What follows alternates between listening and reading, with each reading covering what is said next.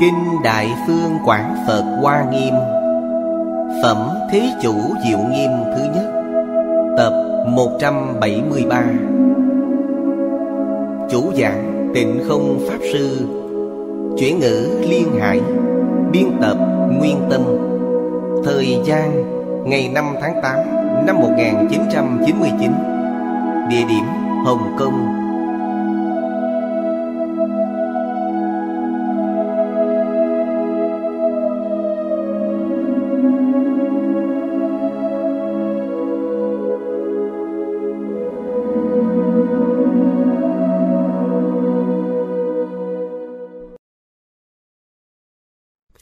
Xin mời xem kinh văn. Tri Túc Thiên Bài kệ tụng, thứ sáu.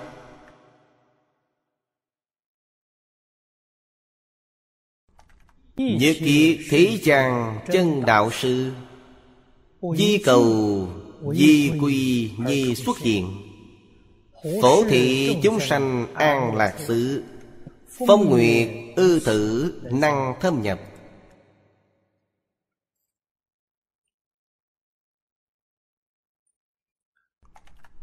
Trong đoạn trước, Phần gian trường hàng.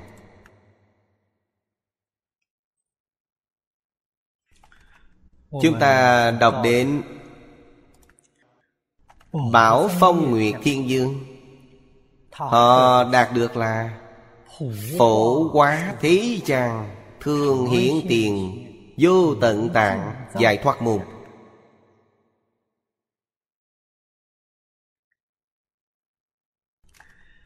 Đây là tán tụng Của Bồ Tát Cũng là Báo cáo thành tựu Tu học Của Ngài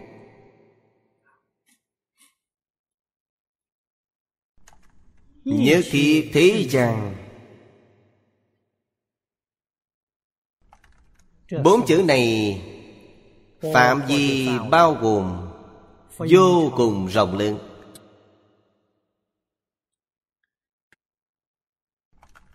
Không chỉ là Lục đạo Thập Pháp giới. Trên thực tế là Bao gồm Hư không Pháp giới. Tất cả cõi nước chư Phật. Chân đạo sư. Chính là chỉ cho chư Phật. Như lai.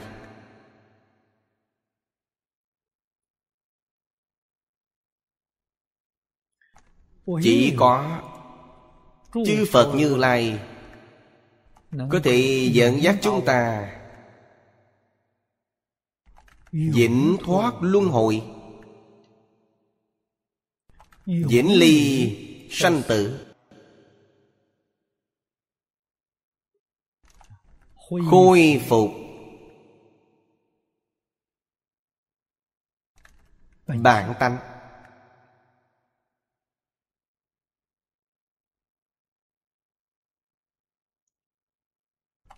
Trước từ đạo sư thêm một chữ chân, ý nghĩa của chân sâu rộng vô cùng. Vừa rồi chúng ta nói, ra khỏi luân hồi dứt sanh tử, đều là từ trên sự mà nói.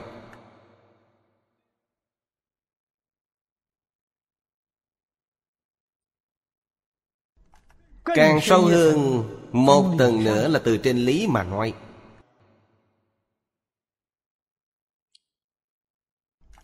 Đạo sư thật sự là chân tâm của chúng ta chân như tự tánh.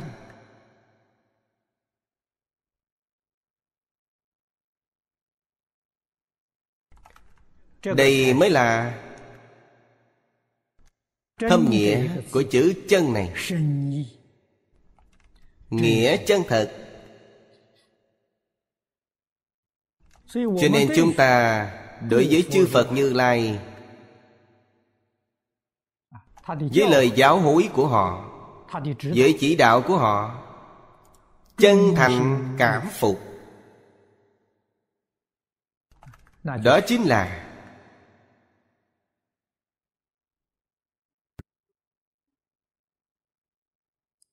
họ không phải. Có ý đến hướng dẫn chúng ta. Đến giáo huấn chúng ta. Nếu như họ có ý chúng ta thuận theo ý của họ. vậy là sai rồi. Đi theo người khác. Bị người khác dắt mũi đi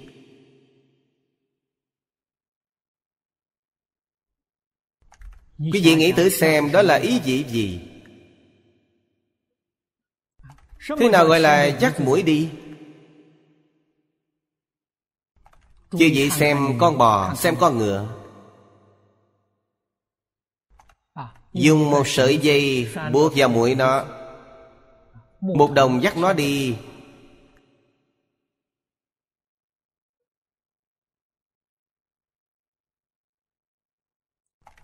Đây không phải là đạo sư thật sự?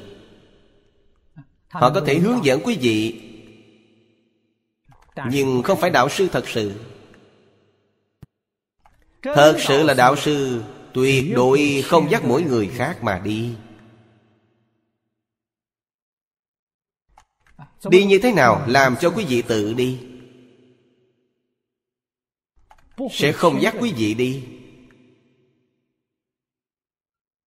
Ngày nay chúng ta nói Tùy thuận giáo hối của Phật. Phật có giáo hối hay không? Không có. Trong kinh Đức Phật giảng rất rõ ràng. Phật xưa nay chưa từng nói một câu nào. Trong kinh Kim Cang không phải đã nói rõ sao? Người nào nếu nói Phật từng thuyết Pháp Thì đó là Hủy bán Phật sao?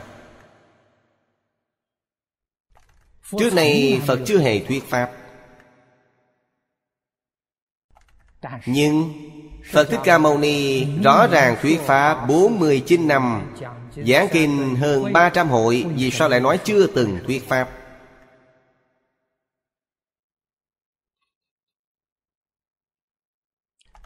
Pháp mà Đức Phật nói Là Pháp vốn đầy đủ trong tự tánh chúng sanh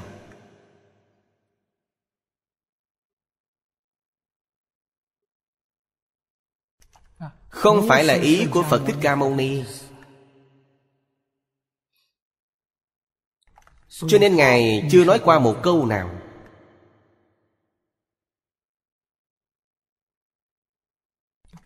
Phật dạy chúng ta, Hướng dẫn chúng ta là tự tánh đã hướng dẫn. Chúng ta tùy thuận tự tánh. Đây là dạy học vĩ đại.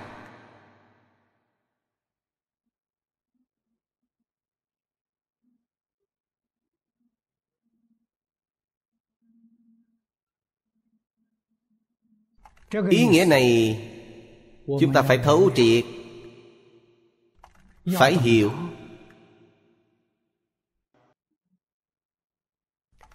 Sau đó tự nhiên có thể tùy thuận. theo lời phật dạy thuận theo lời phật dạy là thuận theo sự dạy học của phật.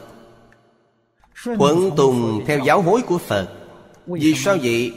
Phật nói toàn là tự tánh chúng ta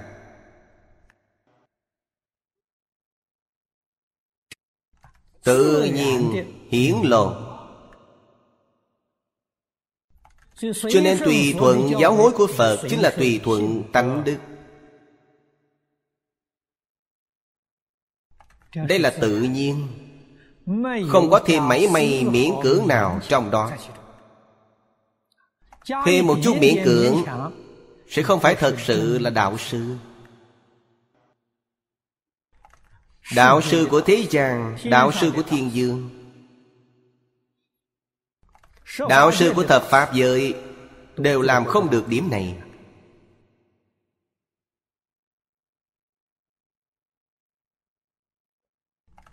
Ý nghĩa này sâu rồi chúng ta có thể lãnh hội được, mới có thể đạt được thọ dụng chân thật.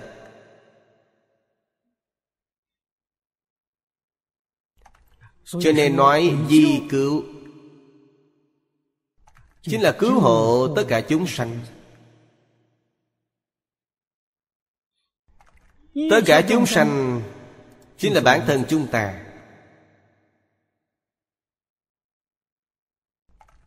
Trong kinh điển đại thừa nói rất nhiều. Trong lục tổ đàn kinh cũng nói rất rõ ràng.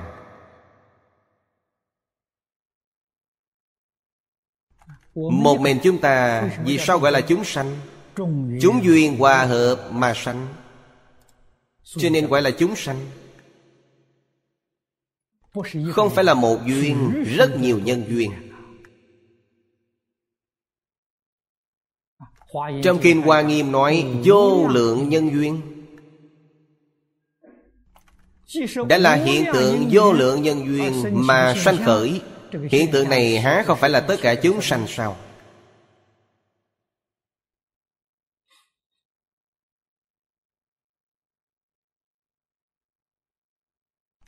Chỉ có suy thuận tánh đức. chúng ta mới thật sự được cứu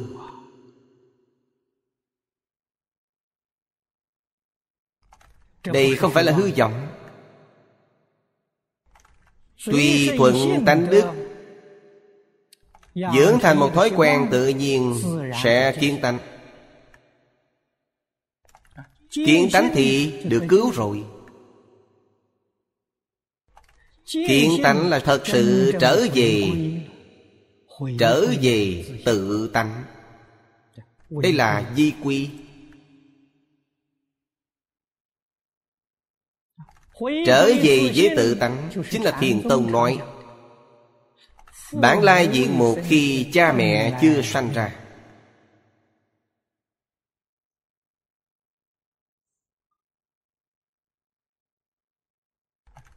Quý vị gặp được bản lai diện mục của chính mình.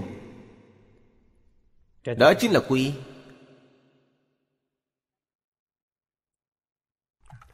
Bản lai diện mục là gì? Bản lai diện mục là chân như Là tự tánh. Là Pháp giới Là nhất chân. Danh từ thuật ngữ trong Kinh luận nói, Có hơn mấy mươi loại. Vì sao nói nhiều như vậy? Đây là thiện xảo trong lúc Phật thuyết Pháp. Dụng ý là vậy chúng ta không nên chấp trước. Vừa chấp trước là quý vị sai rồi.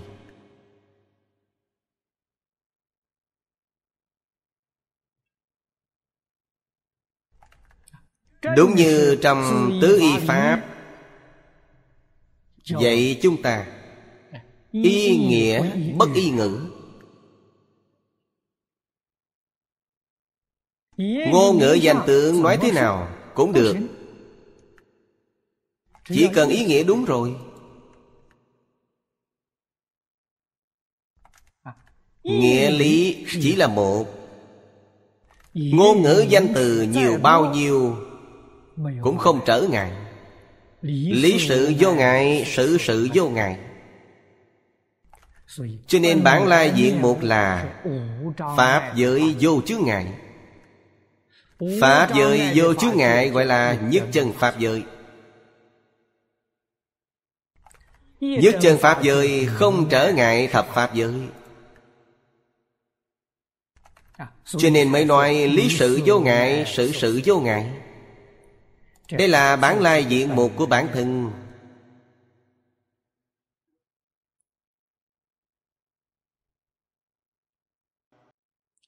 Bản lai diện mục nói rõ ràng hơn chút nữa là tận hư không biến pháp giới, tất cả chúng sanh chính là bản thân.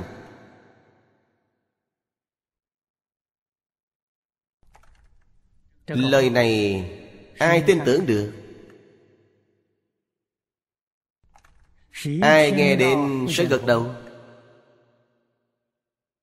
Người thông thường nghe đến lắc đầu, Không phải gật đầu. Nói đầu óc chúng ta có vấn đề, Nói năng lung tung.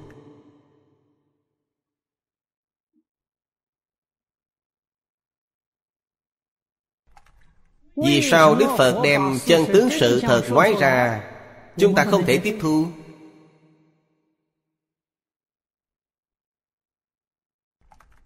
Không những không tiếp thu, Phủ định toàn bộ.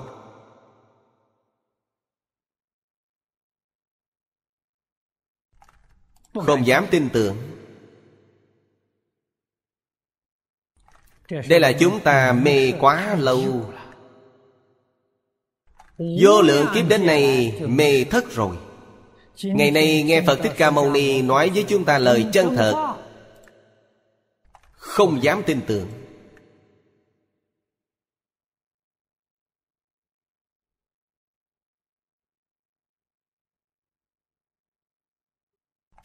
Trong Kinh Pháp Hoa Có một ví dụ về người cùng tử. Ví dụ rất hay.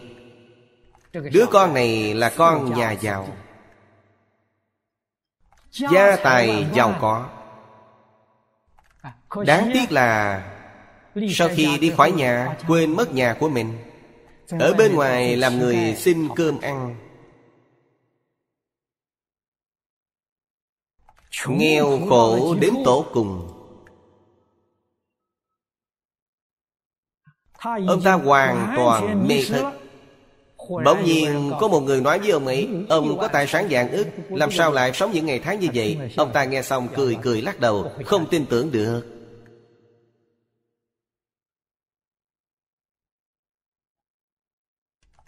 Chúng ta hiện tại tình hình cũng giống như Ví dụ người cùng tử trong Kinh Pháp Hòa Chẳng khác gì cả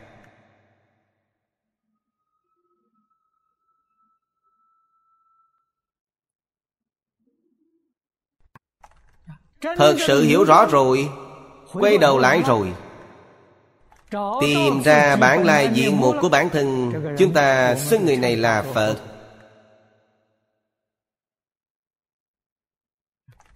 Cho nên Đức Phật trong Đại Kinh nói Trong Kinh Hoa Nghiêm đã nói Trong Kinh Duyên Giá cũng có nói qua rồi Tất cả chúng sanh vốn đã thành Phật Phật là tu thành, Không phải vậy. Vốn đã là như vậy. Hiện tại trở thành như thế này Là bản thân mê thức tự tánh. Mê thức bản lai diện mục. Cho nên trong lục đạo tạo thành như vậy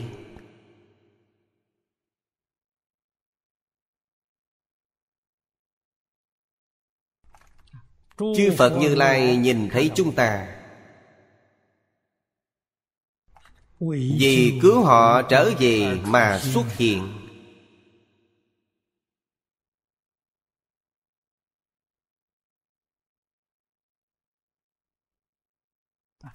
Đây chính là thường nói tùy loại hóa thân tùy cơ thuyết pháp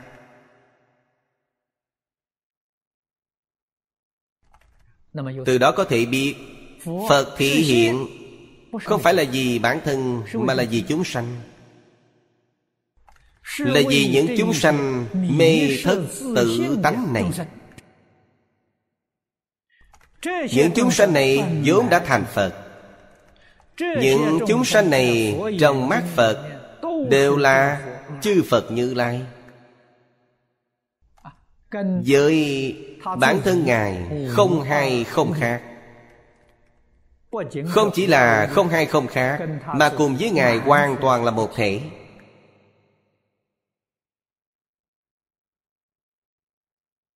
Chúng ta mê mất rồi. Mê như thế nào? Coi xác thân hiện tại này là chính mình sanh khởi vô lượng vô biên vọng tưởng phân biệt chấp trước. Vì thế Thật tướng các Pháp Vĩnh viễn cách biệt rồi. Thật tướng các Pháp ở đâu? Thật tướng các Pháp chính ngay trước mặt quý vị Lại không nhận biết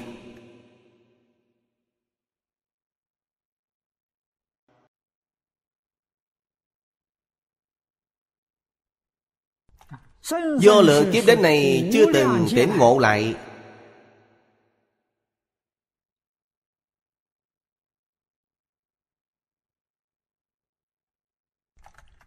Cho nên Đức Phật trong kinh điển Thường thường cảm thán những người này Là kẻ đáng thương xót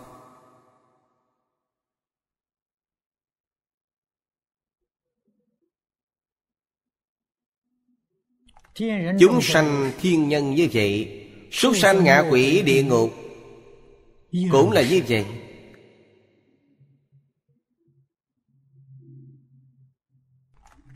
Cảnh giới lục đạo Chính là mê thất tự tánh. Sâu cạn sai biệt không đồng Nghiệp báo sở tạo không giống nhau.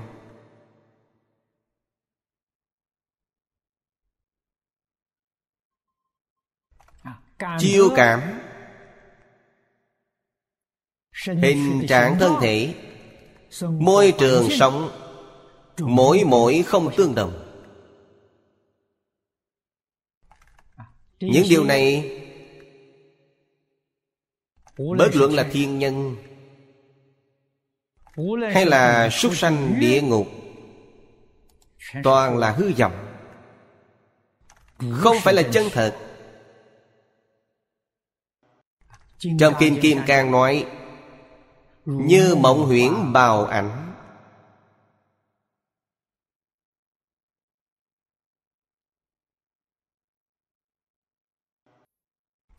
Nhưng Chúng sanh mê hoặc điên đạo Coi hư vọng là chân thật. Sai là sai ở đây. Đối với chân thật thì không biết gì cả. Phật giảng kinh. Kinh này quý vị vì sao xem không hiểu?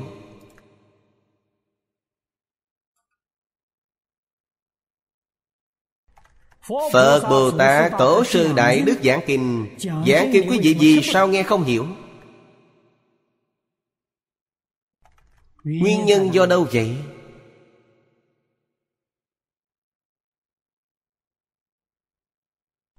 Quý vị có phát giác được không? Đã từng tư duy đến chưa?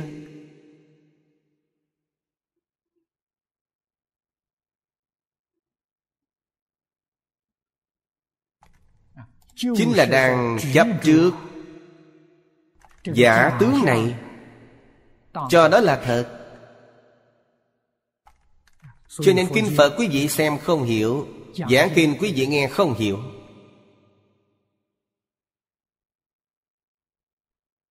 Nhưng quý vị cũng quan hỷ xem Quý vị quan hỷ nghe. Quý vị xem được, quý vị nghe được. Dường như đúng mà không phải. Không thật sự hiểu được. Thật sự hiểu rồi Cảnh giới liền chuyển trở lại. Cảnh giới còn chưa thì chuyển trở lại. Thì sự lãnh ngộ của quý vị Dường như đúng mà không đúng.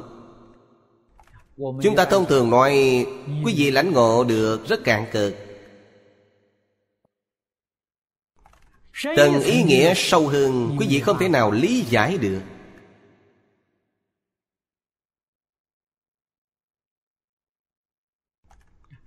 Đạo lý này chính là chấp trước Phân biệt quý vị chưa buông xuống được.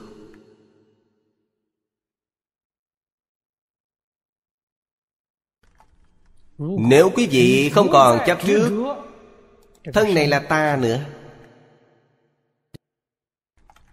Không còn chấp trước Tâm này là ta.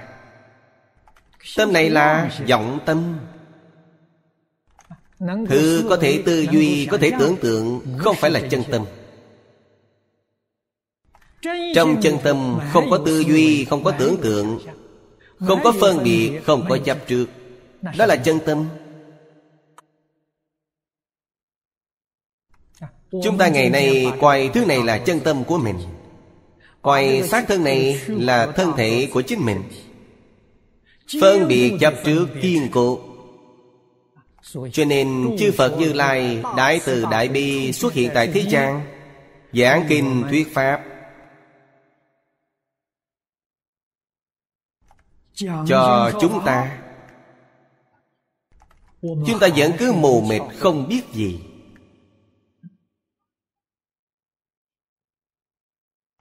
Chúng ta ngày nay thọ tam quy rồi, Là tam quy trên hình thức.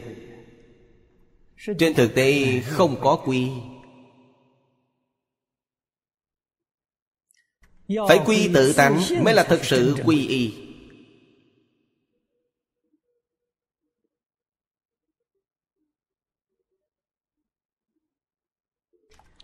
Trong đàn kinh, Đại sư Huệ Năng giảng Quy y giác Quy y chánh Quy y tịnh. Chánh giác tịnh là tánh đức.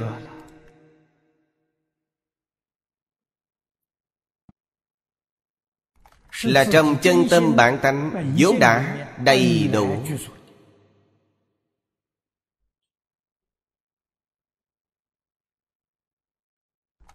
Đây là chỗ quy y thật sự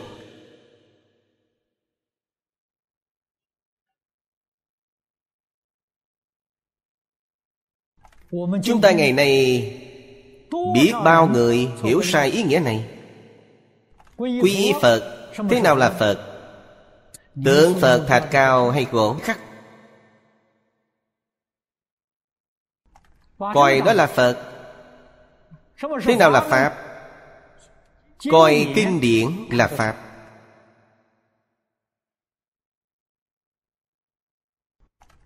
Thế nào là Tăng? Xem người xuất gia Cáo đầu。Mặc áo dài cổ tròn。Đó là Tăng。Toàn hiểu sai hết。Phật thạch cao gỗ khắc. Người ta thường nói rất hay Bồ Tát bùng qua sông thân không giữ được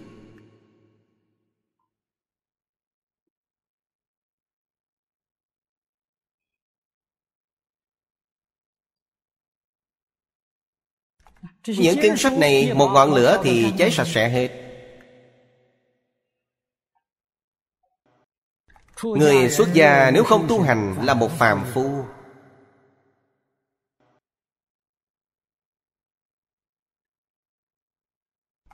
Vẫn là tạo ra tất cả tội nghiệp.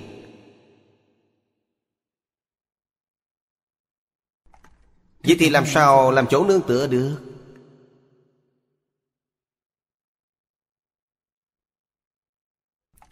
Phật dạy cho chúng ta chỗ quy y. Giảng rất rõ ràng, Chúng ta hiểu sai về nó rồi. Đặc biệt trong Kinh Hoa Nghiêm. Đại sư Thanh Lương và Lý Trưởng Giả nói cho chúng ta rất hay. Trong Kinh Hoa Nghiêm, Mỗi chữ, mỗi câu đều là biểu pháp. Tối hôm qua chúng ta nói văn thù sư lợi Bồ Tát.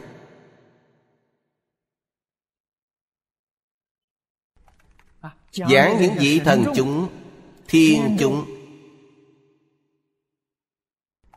khí thủ chúng.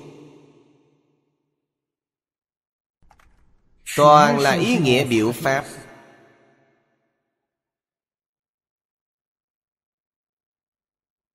Văn thù sư lợi Biểu thị tự tánh chúng ta vốn đầy đủ trí tuệ bát nhã.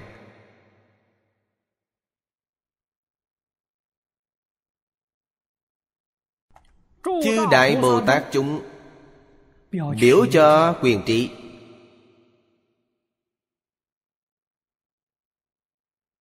Những vị thần chúng thiên chúng Thí chủ chúng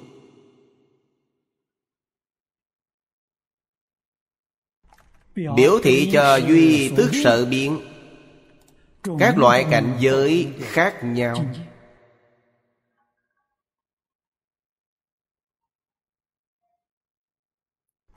Cho nên cổ nhân nói rất hay Lý không ngoài tâm tánh Sự không ngoài nhân quả. Lý sự nhân quả đều là bản thân Lý là chân như bản tánh của chính mình.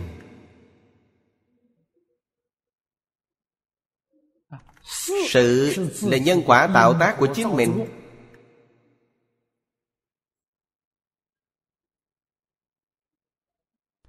Hư không pháp giới. Tất cả chúng sanh Ngoài tánh thức Của bản thân ra Không có gì cả Tông Pháp Tướng nói Chỉ có Duy thức. Đó là nói Thập Pháp giới y báo chánh báo trang nghiêm là gì? Chỉ có duy thức. Hai chữ duy thức này ý nghĩa là gì? Nhân quả báo ứng.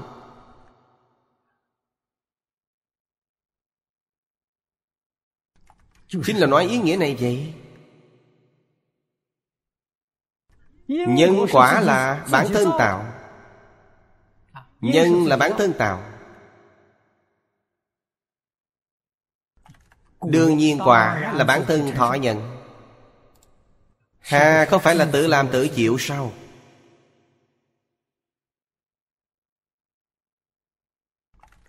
Đây mới là chân tướng sự thật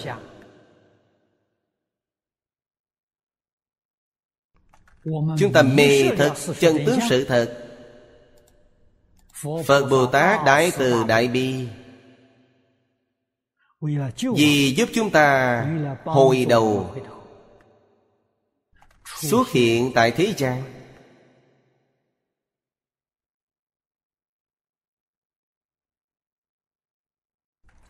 Ý nghĩa này cũng sâu rộng vô hạn Mê thất tự tánh. Nói với quý vị sâu thêm một tầng ý nghĩa nữa. Là chính mình. Ngoài chính mình ra Có mê thất gì không? Không có.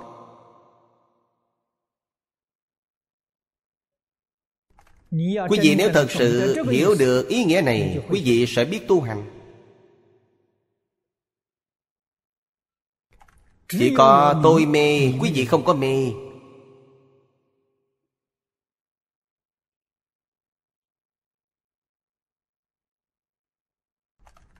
Tôi nói lời này, quý vị lại nghe không hiểu. Quý vị lại nghe hồ đồ rồi.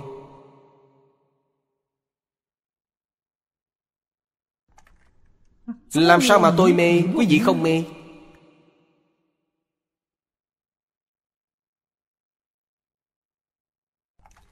Tức là chỉ nói về phần tôi Quý vị đích thực không có mê. Quý vị là chân Phật Quý vị là Như Lai. Quý vị ở đó thể hiện cho tôi thấy. Tất cả những cảnh giới Cảnh giới nhân sự Cảnh giới vật chất Từ đâu mà đến Duy thức sợ biến. Ai là thức sợ biến? Bản thân tôi thức sợ biến.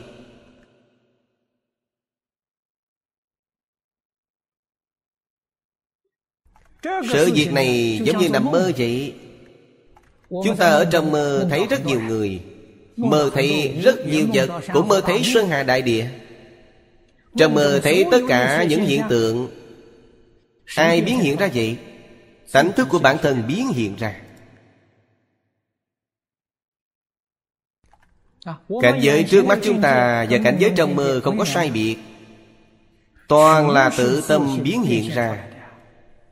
Lìa tự tâm đích thực không có một pháp nào khả đặc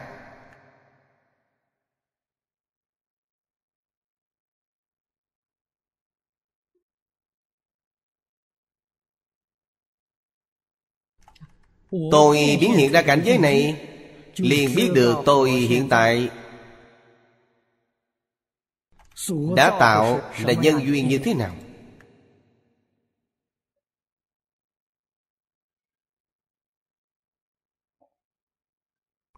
Hiểu rõ đạo lý này mới hiểu được ý của phật. Tất cả những hiện tượng này nó đến như thế nào? Duy tâm sở hiện tâm là chân tâm tâm là chân như, tâm là bản tánh. Bản tánh sở diện. nó không phải là bản tánh thì là gì? Cổ nhân có một ví dụ để cho chúng ta từ trong ví dụ đó thể hội được. Họ nói là dùng vàng làm đồ vật, mọi vật đều là vàng đem vàng ví cho bản tánh. Hiện tại dùng vàng làm ra rất nhiều rất nhiều dụng cụ Làm thành vòng tay. Làm thành dây chuyền, làm thành nhẫn tay. Làm thành khuyên tay. Làm thành rất nhiều, rất nhiều đồ trang sức. Thử hỏi xem có thứ nào Không phải là vàng thật? Không phải đều là vàng sao? Quý vị từ ý nghĩa này mà thể hội Đã là Pháp giới Hư không Tất cả chúng sanh duy tâm sở hiện. Hỏi thử xem Có thứ nào không phải là Chân như Không phải là tự tánh Không phải là chân tâm. Đều là Chân tâm là gì? Chân tâm là Như Lai Chân tâm là chư Phật. Cho nên nói Tất cả chúng sanh đều là chư Phật Như Lai. Có ai không phải chứ? Chân thật ta không phải Bản thân ta vì sao không phải? Bản thân ta có vọng tưởng Có phân biệt, có chấp trước Cho nên không phải. Cho nên nhìn tất cả chúng sanh đều là phàm phu Nhìn tất cả chúng sanh đều là chúng sanh. Không biết tất cả chúng sanh đều là chư Phật Như Lai. Nếu như bản thân chúng ta đem vọng tưởng phân biệt chấp trước Tất cả đều buông xuống hết. Quý vị nhìn thấy Sơn Hà Đại Địa Tất cả là chư Phật Như Lai. Trong Kinh Hoa Nghiêm nói Tình giữ vô tình đồng viên trùng trị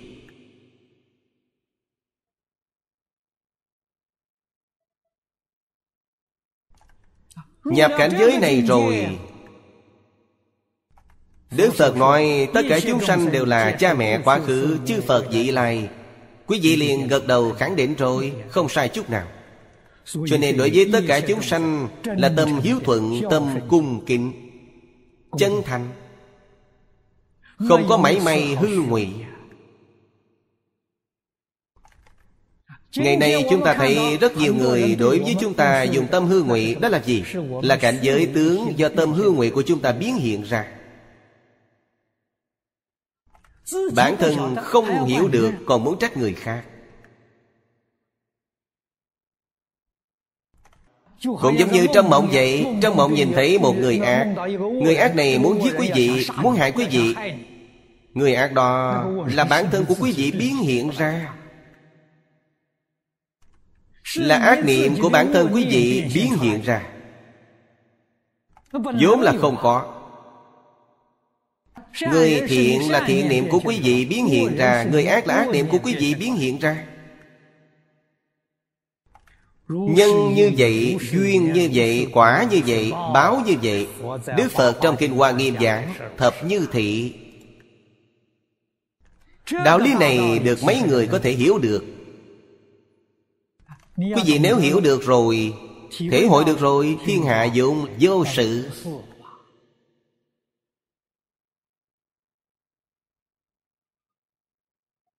Đây mới là thật sự Là cứu họ trở về. Phật tận tình khuyên bảo. Dùng các loại phương tiện thiện xảo. Để nói rõ cho chúng ta chân tướng sự thật Tại sao chúng ta lại không giác ngộ? Nguyên nhân không giác ngộ Chính là không buông xuống được.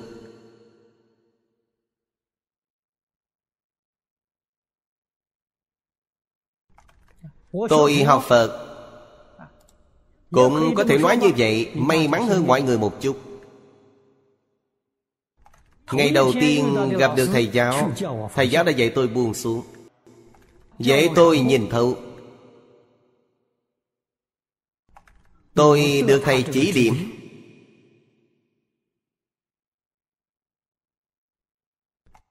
Ân đức sâu dày. Tôi học Phật là từ Nhìn cho thấu buông xuống được Mà học lên. Khởi điểm chính là điều này. Đây là giáo hối của chân thiện tri thức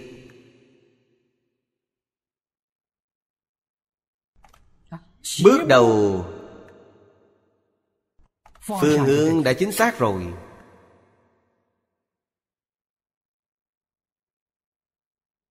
Cho nên trong thời gian gần 50 năm, Tôi học Phật. Đến nay là 47 năm.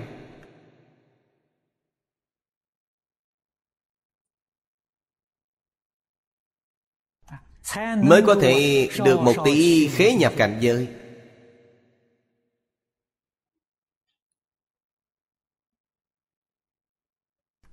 Cho nên tôi đối với giáo hối của Thầy Niệm niệm không quên.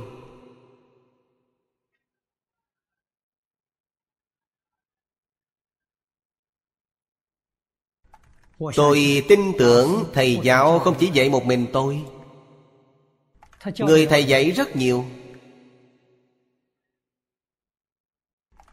Vì sao nhiều người như vậy cùng nhận sự giáo hối như nhau mà không có thành tựu? Nguyên nhân là vậy, quý vị buông xuống, Quý vị không chịu buông xuống, Vậy thì hết cách rồi. Thầy giáo chỉ có thể dạy quý vị buông xuống, Không thể nào ép quý vị buông xuống. Nhìn thấu buông xuống là việc của bản thân quý vị, Không phải là việc của thầy giáo. Nhưng không chịu buông xuống thì không thể nhìn thấu. Không thể nhìn thấu thì không thể buông xuống.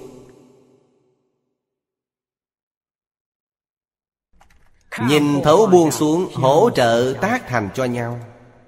Từ sư phát tâm đến như lai địa. Tu những gì? Chính là nhìn thấu, buông xuống mà thôi. Buông xuống là hành môn. Phổ Hiền Bồ Tát làm tượng trưng. Nhìn thấu là giải môn Văn thù sư lợi Bồ Tát làm tượng trưng.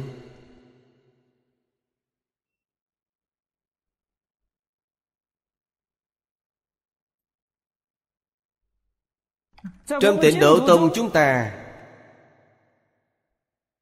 Quán Thế Âm Bồ Tát tượng trưng buông xuống Đại Thế Chí Bồ Tát tượng trưng nhìn thấu.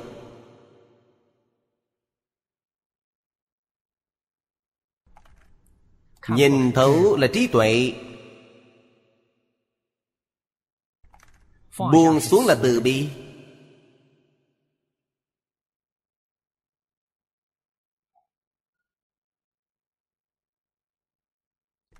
Như vậy, Từ bi mới xuất hiện. Trí tuệ mới là thật sự đạo sư Thật sự hướng dẫn.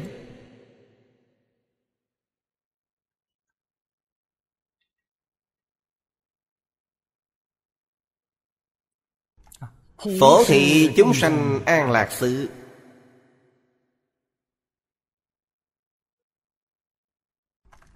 Câu này chúng ta phải hiểu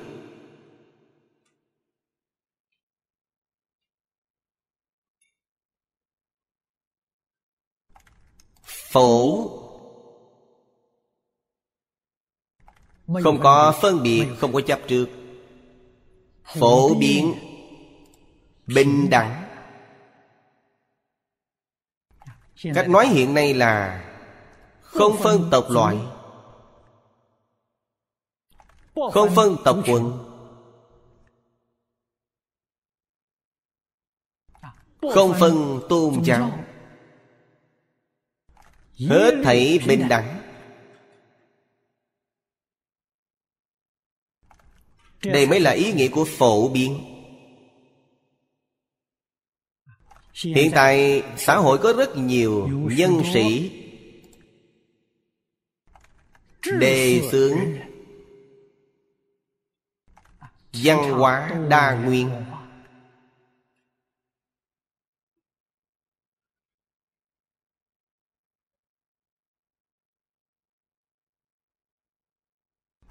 đề xướng cùng tồn tại phát triển. Không có phổ làm không được.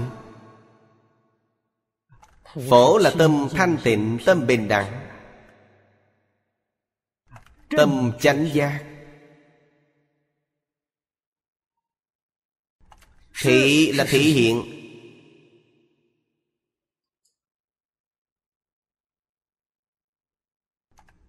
chính là đoạn trước nói, vì cầu họ quay về mà xuất hiện.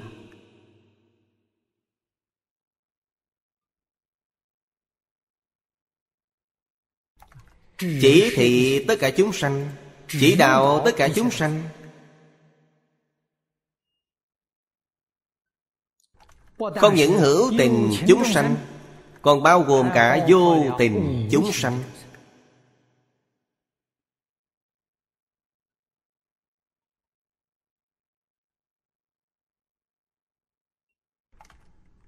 Ý nghĩa này rất sâu sắc. Hữu tình chúng sanh, mọi người hiểu được. Vô tình chúng sanh thì mọi người nghi hoặc rồi. Vô tình chúng sanh cũng có linh tánh. Có hoa cây cối, Quý vị yêu nó.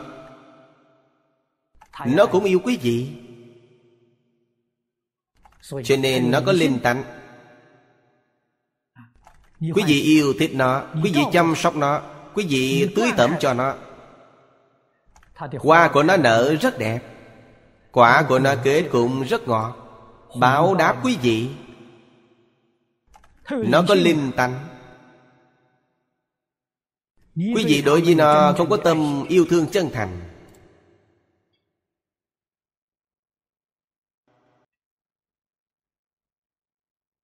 Không có yêu thương chu đạo Nó cũng nở hoa Hoa nở không đẹp. Nó cũng kết trái Trái không ngọt.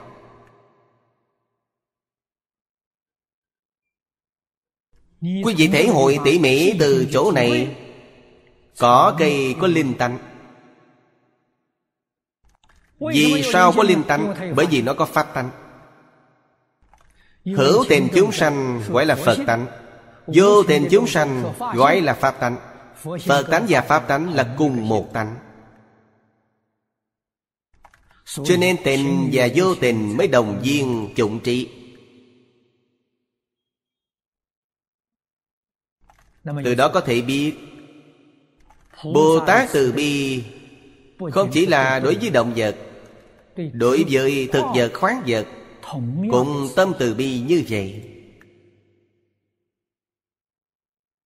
Nhất định không có phân biệt.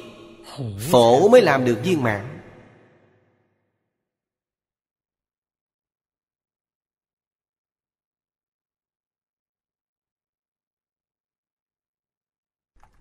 Hữu tình, vô tình đều là chúng duyên hòa hợp mà sanh.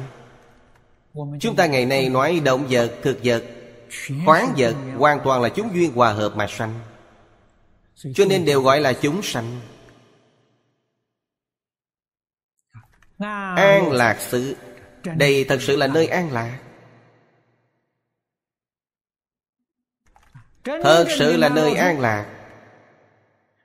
Nhất định tương ưng với tánh đức. Tương ưng với tánh đức.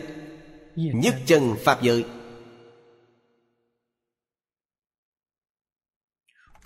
Thuần thiện không ác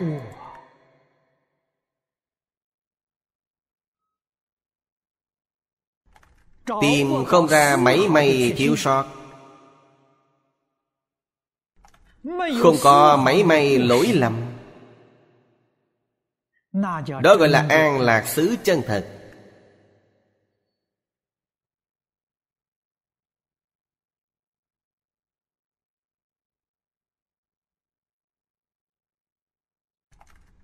Chân an lạc xứ ở đâu? Chân an lạc xứ là tự tánh của quý vị là chân tâm của quý vị.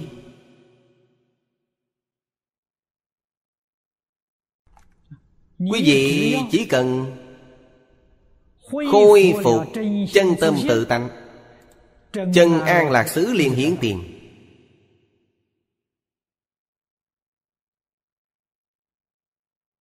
Nói cách khác quý vị không thể minh tâm kiến tánh chân an lạc sự không có.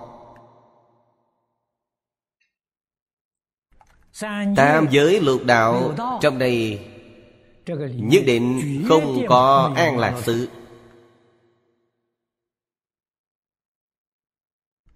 chúng ta đến đâu tìm nơi an toàn chứ? Không có. Đi tìm ở đâu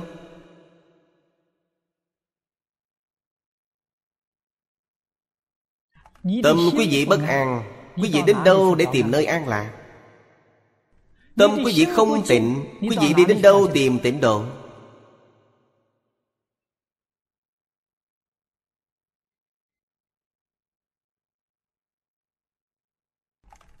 Hiện tại có rất nhiều người nói Úc Châu rất tốt Là một tịnh độ duy nhất trên thế giới này New Zealand rất tốt. Tôi nghe xong không cho là vậy. Tịnh độ ở đâu? Tịnh độ nơi tâm tịnh. Tâm tịnh tức cõi Phật tịnh. Lời này mới là chân lý.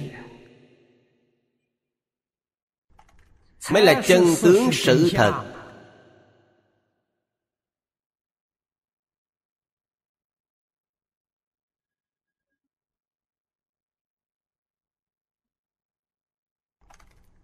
Ai có thể thể hội được?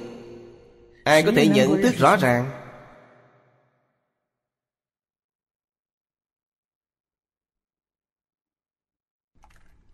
Muốn đi tìm một nơi Thanh tịnh an lạc Đó là vọng tưởng. Vọng tưởng sẽ nghĩ ra một nơi thật sự thanh tịnh an lạc.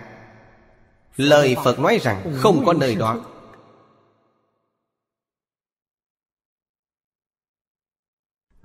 Phật chỉ thị cho chúng ta nơi an lạc thật sự.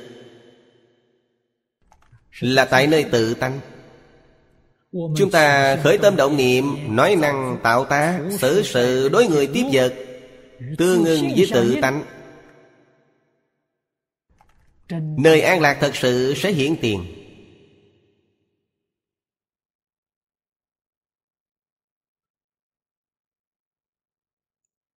Như thế nào mới tương ưng với tự tánh?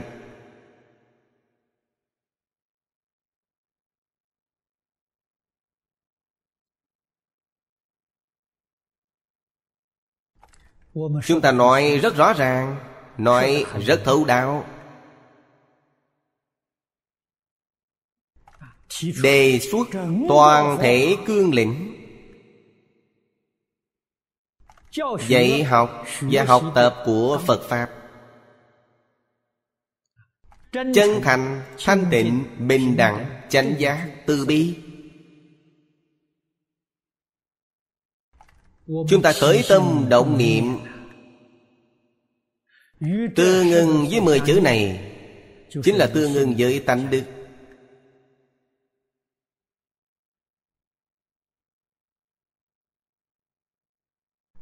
Nếu như trong tâm còn có hư ngụy Quý vị không chân thành Không tương ưng rồi. Trong tâm còn có thị phi nhân ngã Còn có tham sân suy mạng Còn cảm thấy Bản thân mình cao hơn người khác một bậc Người ta đều không bằng mình Quý vị sẽ không bình đẳng Không chân thành Không thanh tịnh Không bình đẳng. Quý vị đã mê rồi Quý vị không giác nữa.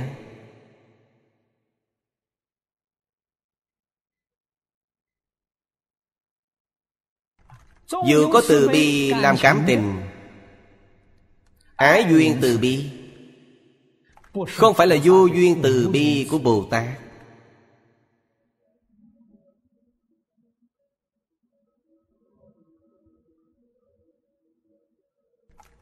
Chúng ta nêu ra 10 chữ. Đơn giản thô thiển như vậy.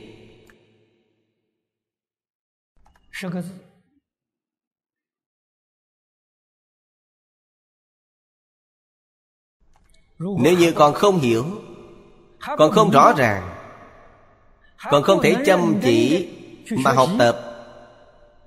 Quý vị không phải là học Phật.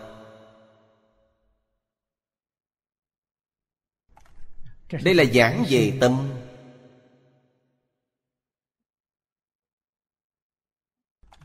Hình thức. Thực tiễn vào trong sự tượng Nhìn thấu buông xuống tự tại tùy duyên. Niệm Phật Là cuộc sống thường nhật của chúng ta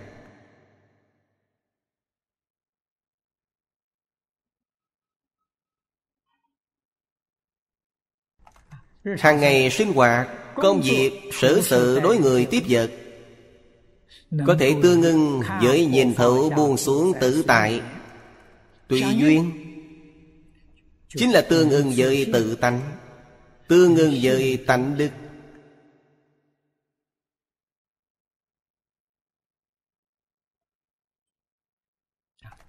Tánh đức đức là đức hạnh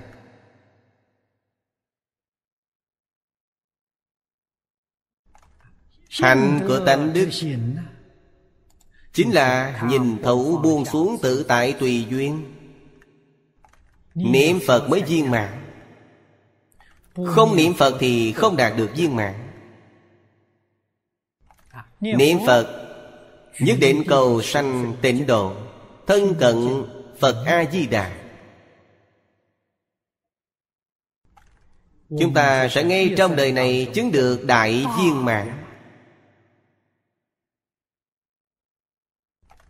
Cho nên hai mươi chữ này Là tổng cương lĩnh học tập của chúng ta. Tổng nguyên tắc tu hành.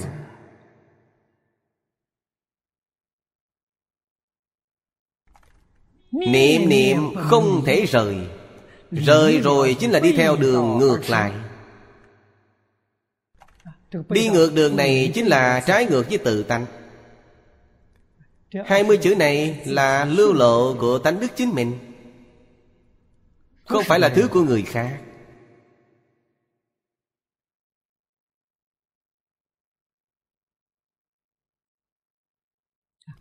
Đây là an lạc xứ thật sự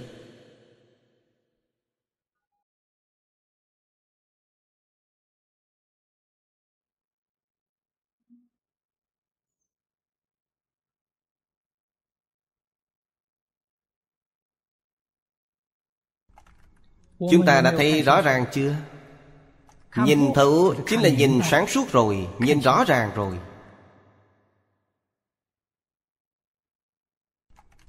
Dùng hai mươi chữ này mà nói hai mươi chữ này phải chăng quý vị đã rõ ràng, đã sáng tỏ rồi? Thật sự rõ ràng, thật sự sáng tỏ rồi. Quý vị đã nhìn thấu rồi. Sau khi nhìn thấu thì buông xuống. Buông xuống những gì? Điều trái ngược với hai mươi chữ này, Quý vị buông xuống rồi. Trái ngược với chân thành là hư ngụy Hư ngụy buông xuống rồi.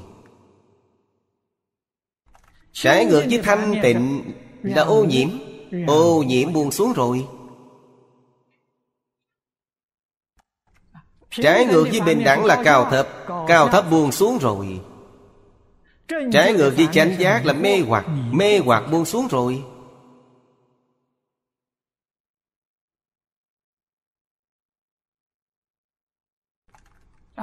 Trái ngược với từ bi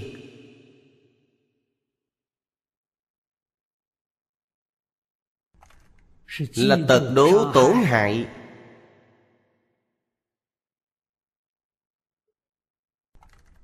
Cũng buông xuống rồi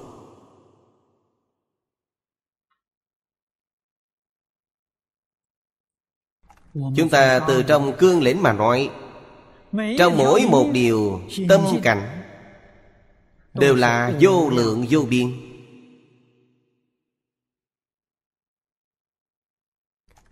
Trên sự danh văn lợi dưỡng Ngũ dục lục trần Sự hưởng thụ đó Cũng triệt để buông xuống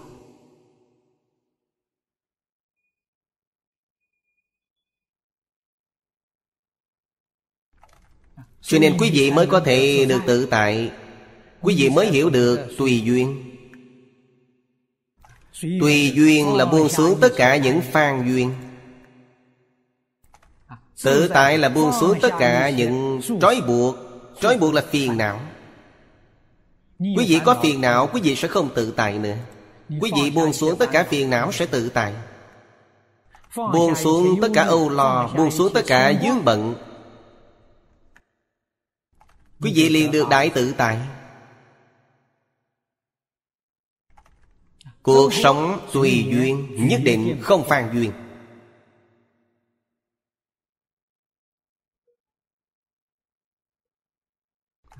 Tất cả chư Phật Như Lai khuyên chúng ta niệm Phật cầu sanh tịnh độ.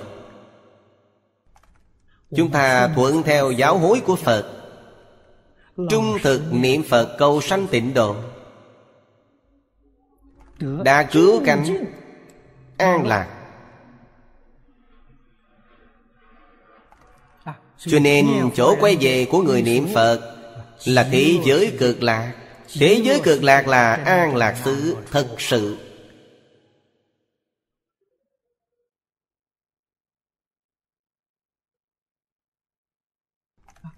Chúng ta có nhất tâm hướng về thế giới cực lạc không? Một lòng hướng về thế giới cực lạc Tức phải buông xuống dạng duyên.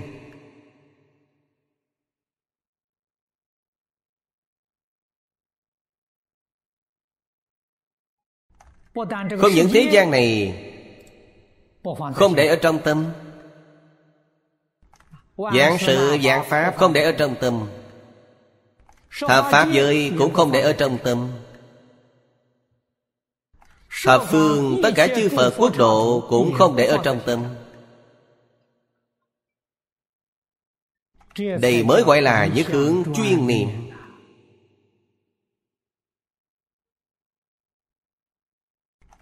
Một lòng một dạ cầu sanh tịnh độ.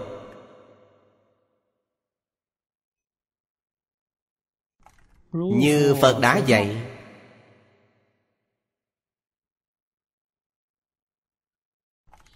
Làm điều Phật làm.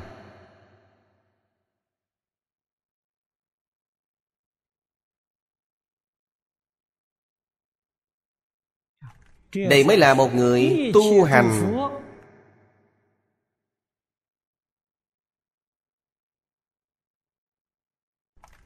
Mà tất cả chư Phật Đều kính ngưỡng.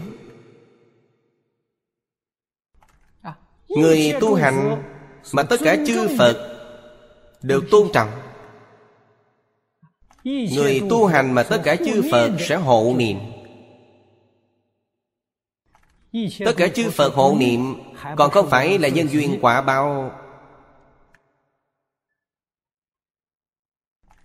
Của bản thân chúng ta sao? Vì sao tất cả chư Phật hộ niệm quý vị? Vì sao tất cả chư Phật tôn trọng quý vị? Là quý vị tôn trọng giáo hối của chư Phật. Chúng ta tôn trọng giáo hối của chư Phật.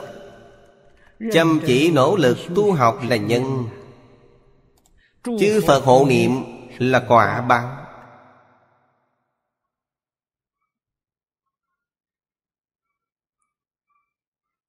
Gieo nhân gì thì được quả báo đó. Nghiệp nhân quả báo không sai mảy may. Không phải là đạo lý này sao?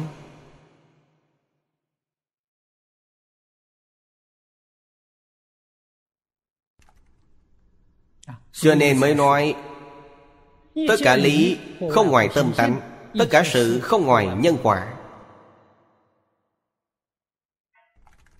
Hai câu nói này Phổ thị chúng sanh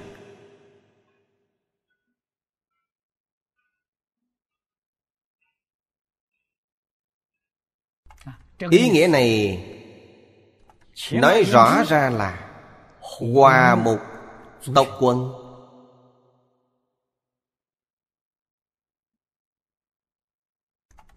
dung hợp tôn giáo. Được đại viên mãn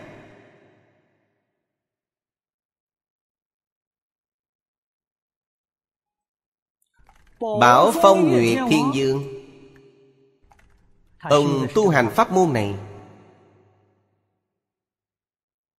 Từ đây có thể thâm nhập.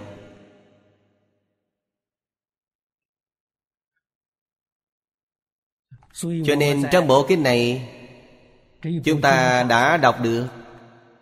Dường như là từng chữ từng câu Đều hiển thị ra Văn hóa đa nguyên hòa thuận. Duyên dung Hòa hợp.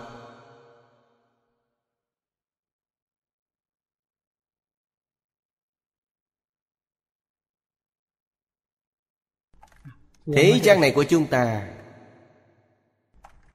Người lãnh đạo mỗi mỗi giai tầng Đều hướng đến Đều mong cầu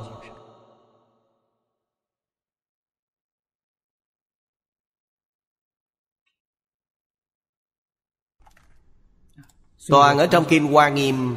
Thế nên tôi thường nói Đây là giáo trình tốt nhất của văn hóa đa nguyên.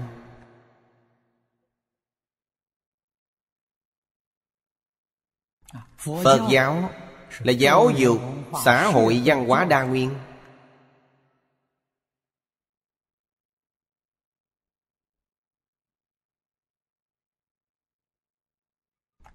Dạy học thù thắng nhất, Viên mạng nhất.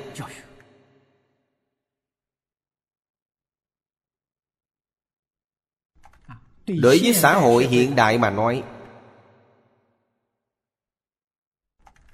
Thù thắng vô cùng. Chúng ta phải nhận thức được Thật sự có thể giải quyết được Các vấn đề của xã hội hiện đại.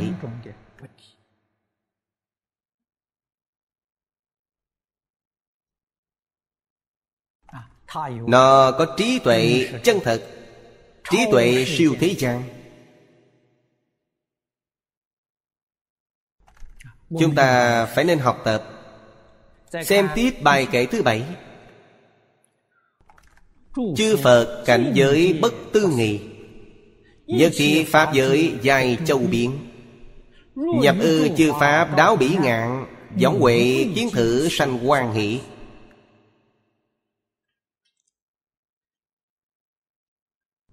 Đây là tán tụng của giọng kiến lực thiên dương.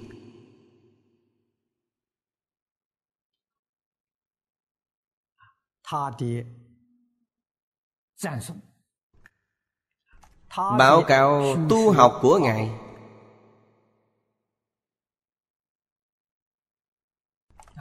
Chư Phật Cảnh giới bất tư nghị. Cảnh giới chính là bất tư nghị. Bất tư nghị chính là cảnh giới chư Phật Thế nên phẩm đề trong phẩm cuối cùng của Kim Hoa Nghiêm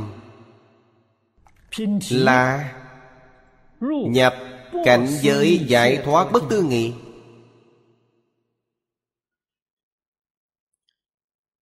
Cảnh giới giải thoát bất tư nghị Chính là cảnh giới chư Phật.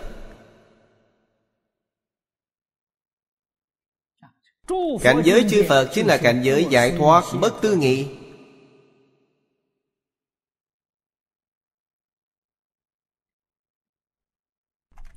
Chữ giải này.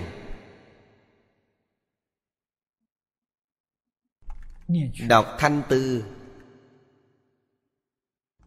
Nó là động từ.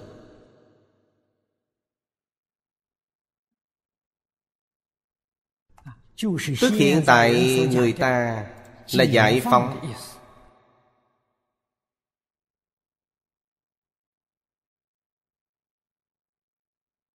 Giải phóng thứ gì vậy?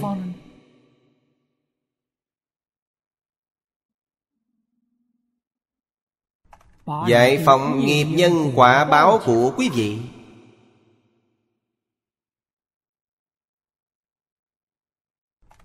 Tiêu trừ những nghiệp nhân đã tạo từ vô thị kiếp đến nay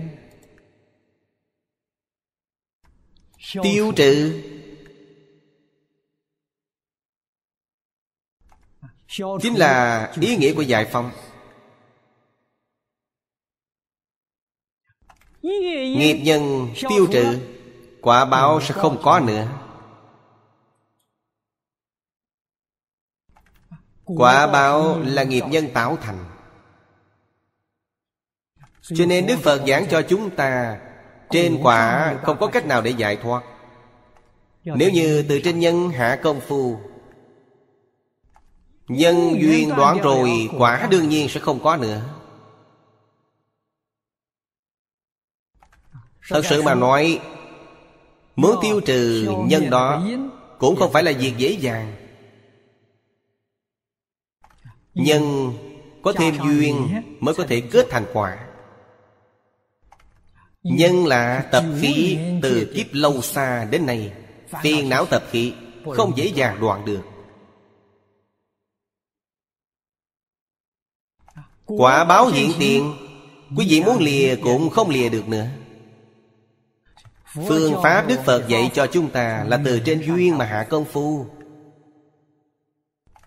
Cho nên Phật Pháp gọi là duyên sanh. Rõ ràng là nhân duyên quả. Nó chú trọng tại duyên. Duyên thật sự có cách. Chúng ta có thể hiểu được duyên.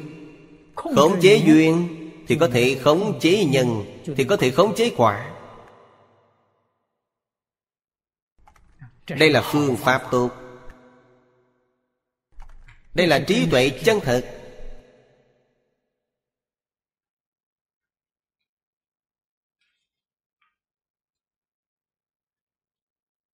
Chúng ta nếu không muốn thọ quả báo ác, Chúng ta có ác nhân. Ác nhân tích lũy từ vô lượng chiếm đến này Không thể nào tiêu diệt.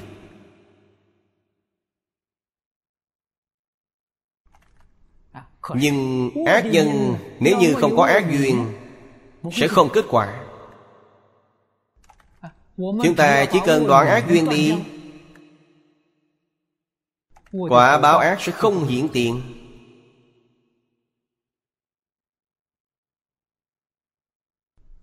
Thế nào là ác duyên? Tôi hiện tại không tạo ác. Không những không tạo ác, Tôi cũng không nghĩ ác, Cũng không nhớ ác. Đây chính là đoạn duyên. Tuy có nhân ác, Quả báo ác của tôi nhất định sẽ không hiện tiền. Hiện tại trong tâm vẫn nghĩ ác, Vẫn nhớ ác, Còn tạo ác. Đây là duyên đầy đủ. Trong thức A lại gia của quý vị có nhân ác Hiện tại duyên đầy đủ. Nhân duyên hội tụ Quả báo liên hiển tiền.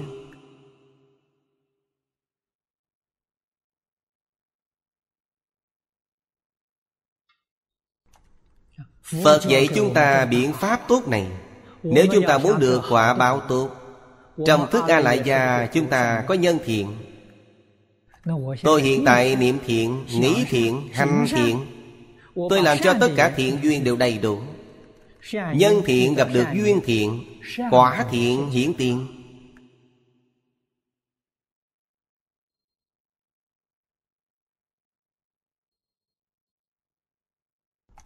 Phật dùng phương pháp này dạy chúng ta.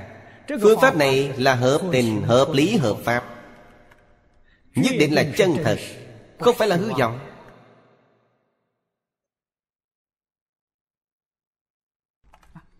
Quả thiện thù thắng nhất là Cảnh giới chư Phật. Cảnh giới chư Phật Chính là vị thiên dương trước Nói đến an lạc xứ.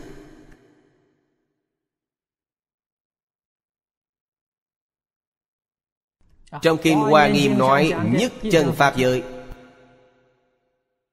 Trong Kinh Giảng Sanh nói, Thế giới cực lạ. Là cảnh giới chư Phật.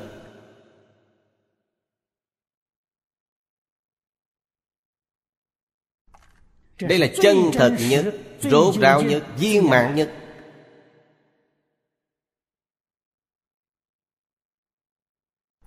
Nhưng chúng ta phải làm thế nào để nhập vào cảnh giới này?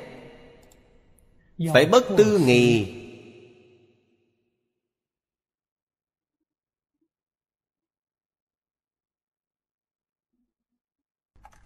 Quý vị sẽ nhập nữa. Liền khế nhập. Vì sao nói bất tư nghị mới có thể khế nhập? Bởi vì cảnh giới đó vốn chính là bất tư nghị. Nói cách khác Quý vị có tư, quý vị có nghị Sẽ không nhập vào cảnh giới chư Phật được.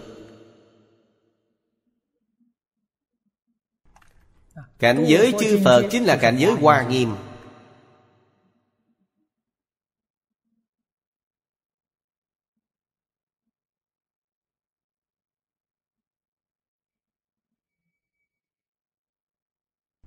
Tư là tư tưởng. Là ý thức. Nghị là ngôn ngữ. Là ngôn thuyết, Là ngôn luận.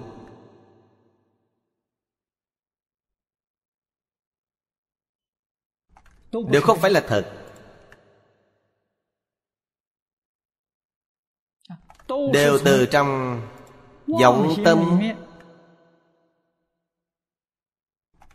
mà khởi tác dụng.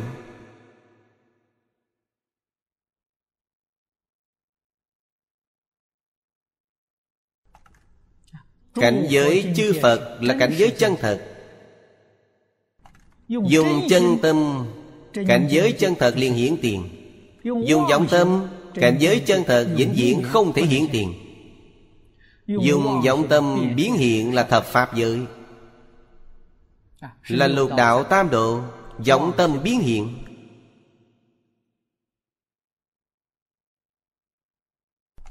Trong thập pháp giới Có thể tư, có thể nghị Không có tách rời tư nghị. Tự thành pháp giới Chính là quý vị nghĩ thiện Niệm thiện, hành thiện Cảm được quả thiện. Lục đạo Quý vị nghĩ ác Niệm ác Hành ác. Lục đạo luân hồi. Cho nên từ trong tư nghì biến hiện ra. Tách rời tất cả tư nghì Nói với chưa vị rằng Không những lục đạo không còn nữa Thập pháp giới cũng không còn nữa Lúc đó cảnh giới sở hiện là nhất chân Pháp giới. Chính là cảnh giới Phật Hoa Nghiêm. Cảnh giới chư Phật.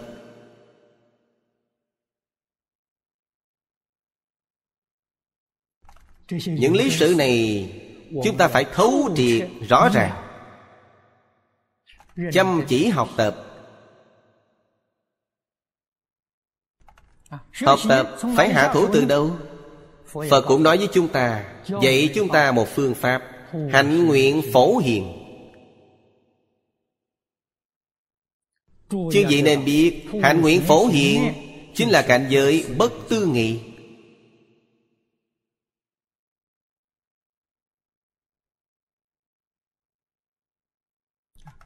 Phổ hiền hạnh nguyện Thứ nhất lễ kính chư Phật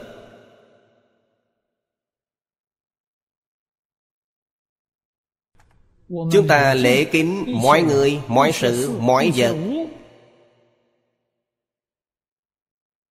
Trong đó không có phân biệt, không có chấp trước, không có vọng tưởng. Không có phân biệt, không có chấp trước, không có vọng tưởng Chính là bất tư nghị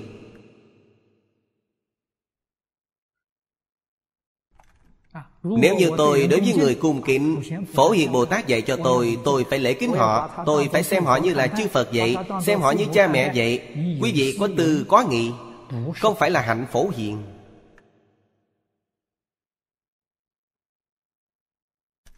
Hạnh phổ hiền hoàn toàn tự nhiên. Chính là như vậy. Không có gì để nói. Không có gì để nghĩ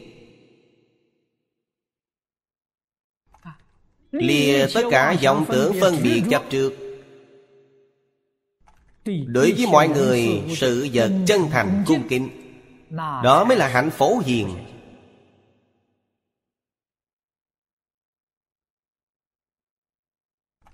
Lìa tất cả vọng tưởng phân biệt chấp trước. Đối với tất cả người hành thiện thì tán thán là hạnh phổ hiền Nếu sanh khởi một niệm Tôi phải nên tán thán họ. Không phải hạnh phổ hiền nữa. Vì sao vậy? rơi vào trong ý thức. Tu những hạnh này là hạnh của tứ thánh Pháp giới. Tương lai quả báo là gì? Thanh văn duyên giác Bồ Tát. Phật trong tạng giáo Phật trong thông giáo. Quả báo này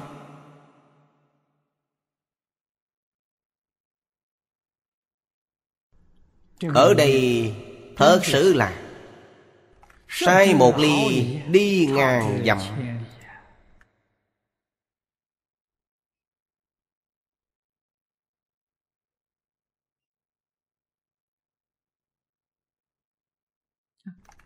Cảnh giới bất tư nghị của chư Phật ở đâu? Tất cả Pháp giới đều chu biện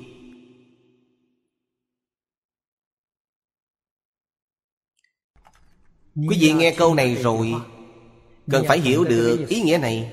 Chúng ta hiện tại chính là nhất chân Pháp giới.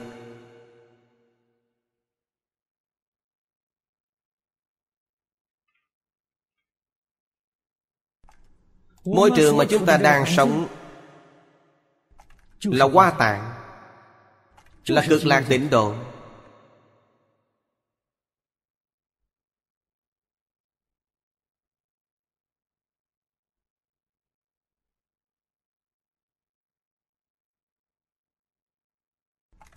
Nơi này phương kia không hề cách nhau. Đây là điều chân thật không giả Từ đó có thể biết Chúng ta mê hoặc điên đảo. Khiến cho hoa tạng cực lạc Phật hoa nghiêm Trở thành như hiện nay. Nguyên nhân gì tạo thành Nhân bất thiện, duyên bất thiện Làm thành như vậy.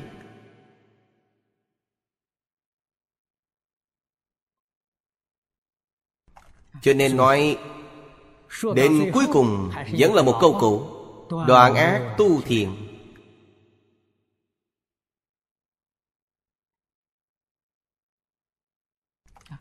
Trong đoạn ác tu thiện Lìa Tất cả vọng tưởng phân biệt chấp trước. liền trở về với nhất chân. Đoạn ác tu thiện không có xa lìa vọng tưởng phân biệt chấp trước chẳng qua là trong lục đạo có thiện nhân thiện duyên hữu lậu mà thôi. Quả báo vẫn là phước báo nhân thiên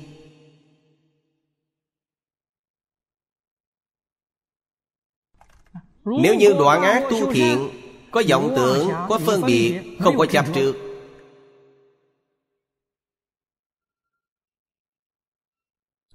Quả báo là tứ thanh Pháp giới.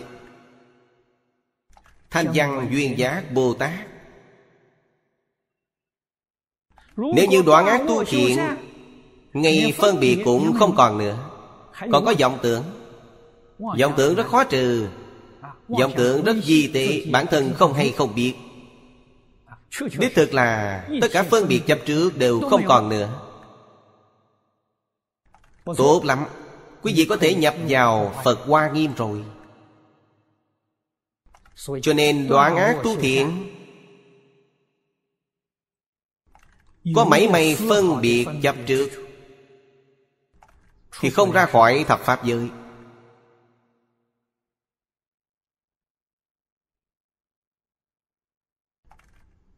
Phân biệt chấp trước, Tất cả không còn nữa. Vậy mới siêu diệt thập Pháp giới.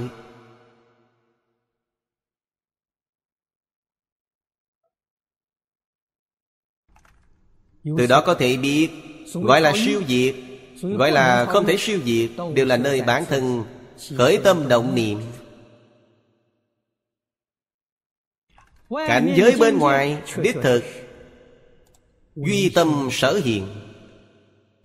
Đức Phật giảng, Tất cả Pháp từ tâm tưởng sanh. Y bảo tùy theo chánh báo mà chuyển. Chúng ta quả nhiên thông đạt rõ ràng đại đạo lý này. Ngày nay thế gian này tai nạn gì đó Cũng là dụng dạc linh tinh.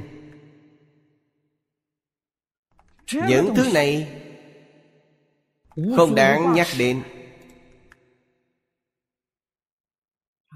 Nó đối với những người đầy đủ vọng tưởng phân biệt chấp trước Mà sản sanh tác dụng. Nếu như là người Không có phân biệt chấp trước Không mảy may liên quan gì đến họ. Không sao cả. Buông xuống. Phân biệt chấp trước Họ trú là nhất chân Pháp giới Trú là Phật Hoa Nghiêm. Cho nên Quý vị không thể nào buông xuống phân biệt chấp trước. Quý vị trú là lục đạo luân hồi. Ngày nay những loại thiên tai Nhân quả Quý vị không thể tránh khỏi. Thiên tai nhân quả từ đâu mà có? Là từ trong phân biệt Chấp trước mà biến hiện ra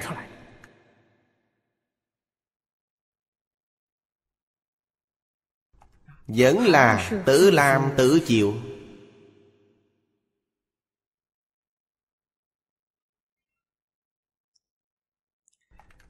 Bài kể này còn chưa giảng xong.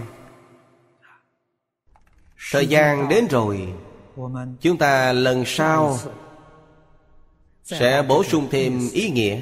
Hết giờ rồi Chúng ta giảng đến đây thôi